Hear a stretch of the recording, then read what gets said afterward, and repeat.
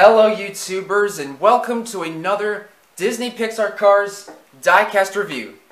Today we're going to take a look at Jimmy Lugwrench, the Retro Piston Cup Racer number 26 from Cars 3. Now before we get right into the review and retrospective, let's start with the unboxing. So, here we have his artwork, the old Cars logo in the blue and yellow desert background and the, the metal logo in the blue sky and the desert background and his diecast which is inside and and his name saying Jimmy Lugwrench and the Mattel logo and it says new New View, Nouveau, Novo 2021, implying that this was released back in 2021. And on the back, we've got the the Piston Cup racetrack background and the Cars 3 logo, the Muddy Rust-eze Racing Center Lightning McQueen, which I don't need, Cruz Ramirez with headset, or Trainer Cruz Ramirez, Fusing Tractor, and the the drummer Pity. I don't know what his or her name is. Tell me in the comments down below. Cars 3 Murray Clutchburn. And I don't have either of the drummer Pity and the or the Fusing Tractor or the Trainer Cruz Ramirez and Jimmy Cables, who I don't have, and Hot Rod Louise Nash, who I also don't have. 2020 Mattel, the RSN logos saying RSN, Racing Sports Network.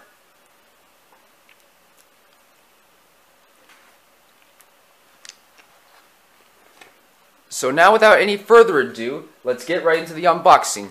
And I'll be back as soon as this has been unboxed. So here we have Jimmy Lugwrench oh, all opened up and out of the package. So Jimmy Cables is obviously a 1950 Nash ambassador, like Louise Nash, who I unfortunately don't have, but modified. he is a old school piston cup racer that bears the number 26 for Arrow and Oil Oil Company. During his appearances in Cars 3, he was first seen at on fire racing on Fireball Beach with the fabulous Doc Hudson Hornet and Junior Moon, River Scott, and Louise Nash, who I unfortunately don't have. Well, the Heyday Junior Moon with the number 11, along with Heyday River Scott, and as well as Louise Nash herself he was also, and and in ni 1954 he was seen, which he was seen. Hmm, he was one of the racers to be halted when Doc had his barrel roll crash. He was then seen again during Smokey's flashback when Smokey was telling Lightning McQueen and Cruz Ramirez how Doc had did a 360 degree flip over a rookie, Leroy Heming, who I unfortunately don't have, and Jimmy Lugwrench here was one of the racers shown in Smokey's flashback and at Thomasville. And during his diecast releases, he was released only one time as a single for 2021. So now without any further ado, let's dig right into the review. So, here we've got his happy facial expression, his red headlights and chrome silver gray front bumper and his chrome gray grille. No tampos on the hood, just the gray silver trimming in the middle. And on both sides we've got the red number 26 and the arrow and a clock on an on the at the end of an arrow. Trucking and shipping. Grand Oil Oil Company, the gas cap right there. Sunset Lake, North Carolina. And on the top, we've got his name and signature saying Jimmy Lugwrench and a number 26 on the top. And on the back, we've got, and on the trunk, we've got the red taillights, and on the trunk, a red, another red number 26, Grand Oil Oil Company logo, and a license plate saying J04-10K, I think. And we also have the chrome silver gray back bumper and the exhaust pipe.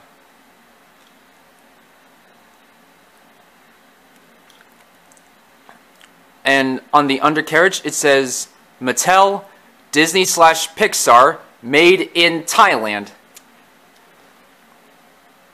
And that is it. And now let's pull up some of the other retro Piston Cup racers. We've got the fabulous Doc Hudson Hornet.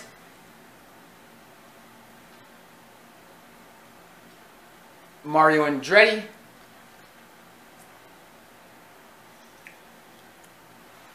Adam Shieldson, my own name for Rusty's Racer number 01 from the Boom Studios comics. Dale the Intimidator Earnhardt Sr. and Lee Weathers. And that is it. So what do you guys think? Which Retro Piston Cup racer is your favorite? And which car for tomorrow should I review next tomorrow? Should it be Junior Moon? Speed Demon? Patty and Ta Patty or Taco or both? Rip Clutchgoneski?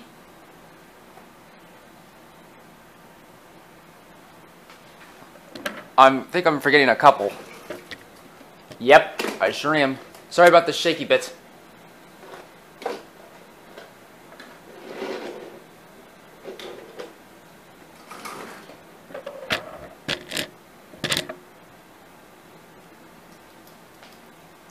Don Crumlin.